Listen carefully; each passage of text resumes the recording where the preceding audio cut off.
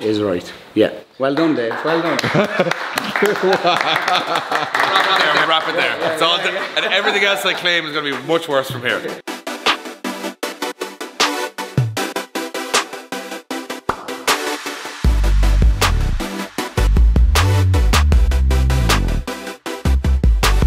What's up guys, welcome to another episode of the Drift Games vlog. As you guys know, we're doing much more raw style vlogs at the moment, so let us know if you're liking them in the comments. Hope you're all having a good day.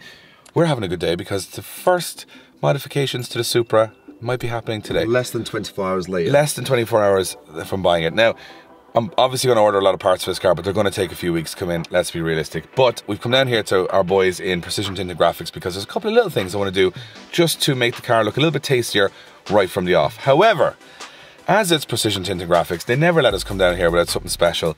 And there's two cars inside that we haven't seen yet that are probably going to blow your mind. So let's go in and see what they are. I want to get your reaction to this, Josh. Before I show you these cars, Josh, I'm going to say why they're special, okay?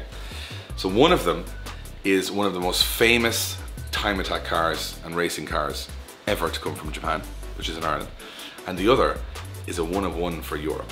So we're talking two Hondas here, but very special in the one place. Never been together before. Let's go check them out. I always think it's a big pressure when there's a wrapping company wrapping their own car and making a big claim. Are You ready? No, I'm not ready. I'm, I'm never ready. Wowzers. Are we going through? Ready?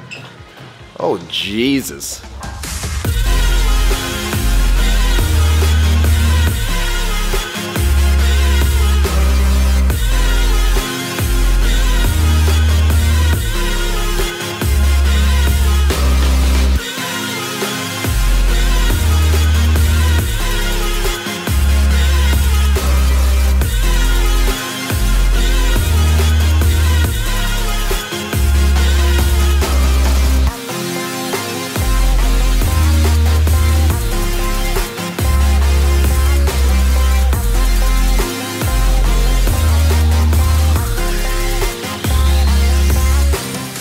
I'm not gonna lie, guys. I really liked the wrap before, but you have done something special here.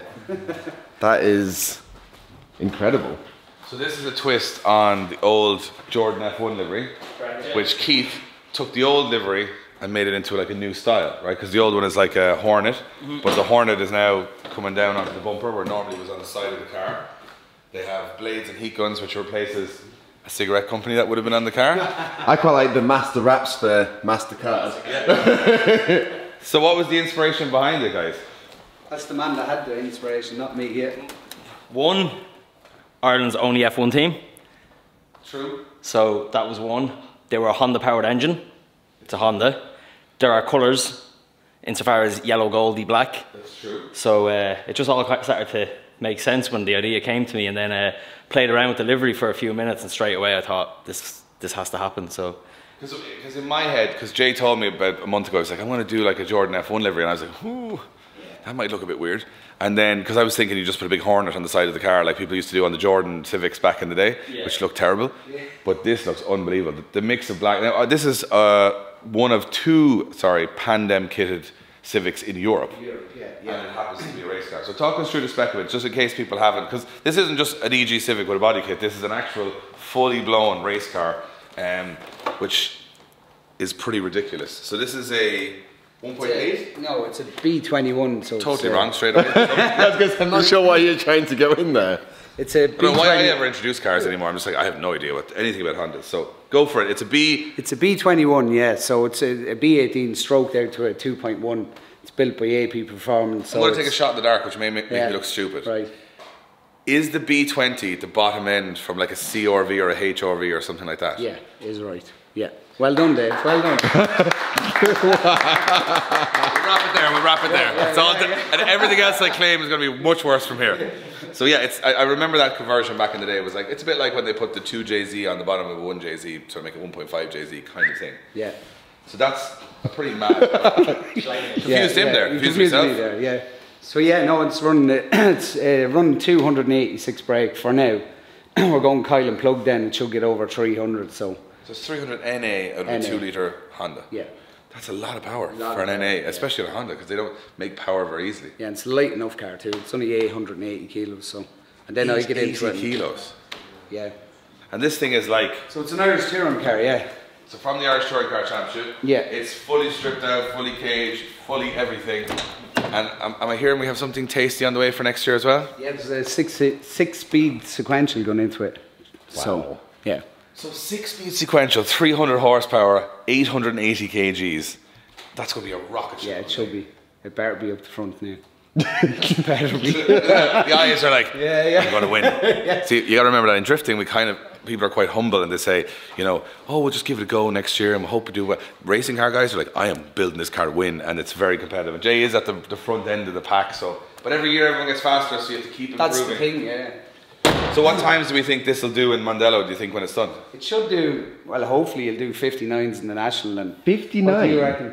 I think it'll do a 59, yeah? Yeah, and then on the international, Maybe 50? 50, 49 one- maybe? 51. Nah, 51. Nah. That, put that in perspective, like that's faster than Those Seat race cars on slicks, that was, they're just under a minute, right? yeah. So it's the, it's like it would do the same as a fully factory built race car, but it's home built, which is amazing. But we also have to look at this car, Josh, which you wouldn't be familiar with. No. But then this is a car that I'm familiar with from back in the day when we used to go to Mondello and there used to be Time Attack. Correct, yeah. This car originally, now you'll know the story more than me, but it was an original J's Racing car from Japan. So this mm-hmm. would have competed at, you know, Fuji Speedway. It would have competed at Tsukuba, all that. It was a proper mental I car. think it was then. the first car, saloon car, to break um, the 60 second lap time into Tsukuba.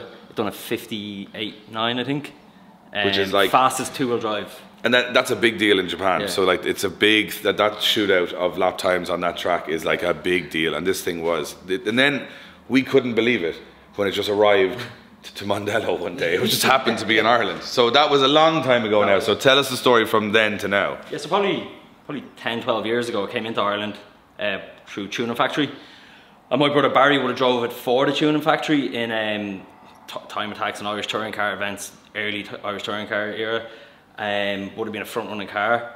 Uh, I'm going to put that more play. It wiped everything at the time. Yeah, like yeah. wiped everything. Everyone hated this car. It was so fast. Um, That was in 2010, was it? 2011. Probably yeah, 2010, 2011. Um, then it was put into hiding for a long, long time. It went and got fully, fully, fully overhauled, painted upside down, inside out, all put back together, and now it's finally got its full livery back as it was when it left Japan.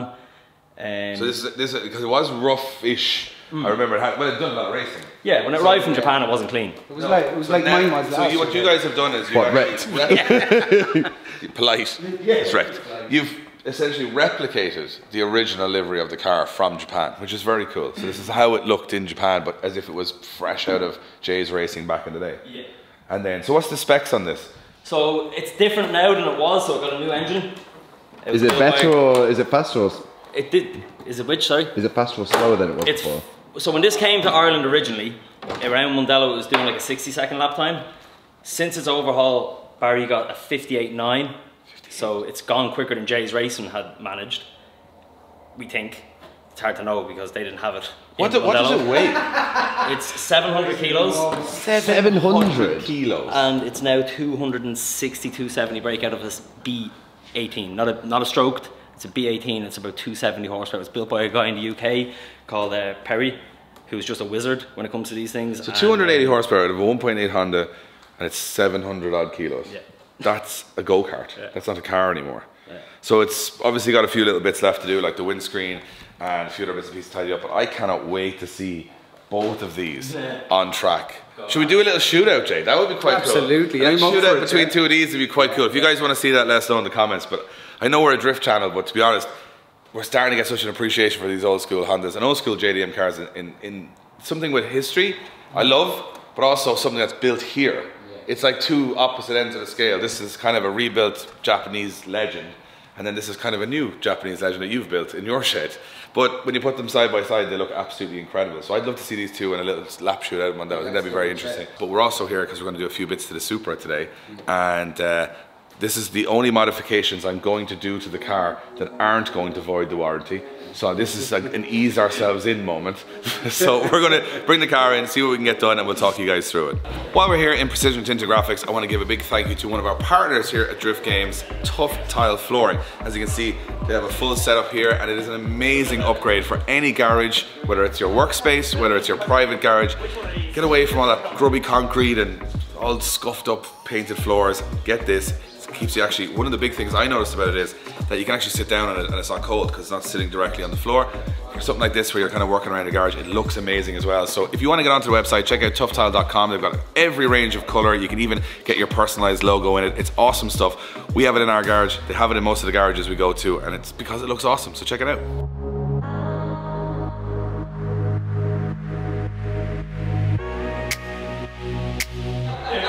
Okay, so we're doing a couple of small pieces this. We were going to do something more. The idea was to do the roof in black. So you'll see here on this photo from what I got.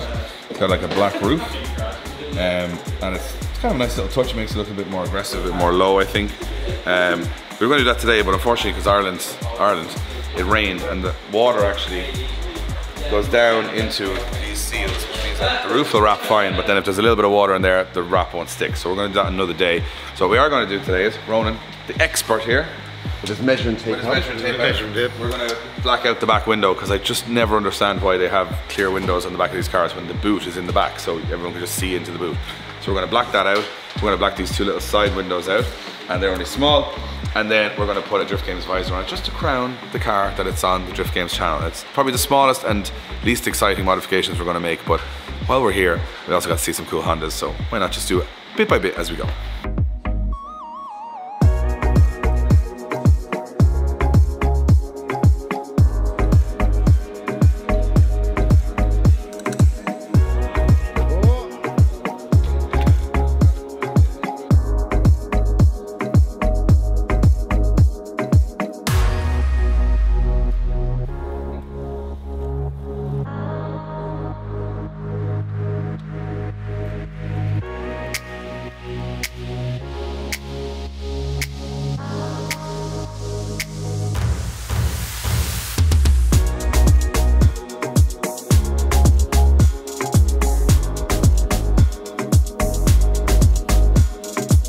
Right, so we didn't get everything we wanted to do today, but we did do our first modifications to the Supra. So we got our Drift Games visor on there. We did a matte black with a black, which looks really good. We had to cut a little triangle out of it though. I was gonna say, there's a triangle beside. it'll start throwing up faults because it's a modern car because that's the automatic rain sensor and the automatic uh, lights so we don't want to mess with that we also tinted the back two windows so you can't see in it was a little bit of a flaw I thought with Toyota because this is now full limo tint on the back but before this you can actually just see into the boot which I don't understand why manufacturers do that so they can just see everything they have in there so um, much cleaner matches all the black on the rest of the car and we will be back for more stuff with precision tinted graphics in the new year but nice little start to our uh, journey on the Supra next up on the interwebs, lots of parts. This thing is going to look wild in a couple of weeks' time. We got to wait for those parts to come in, but I guarantee you this is going to be the wildest Supra in Ireland.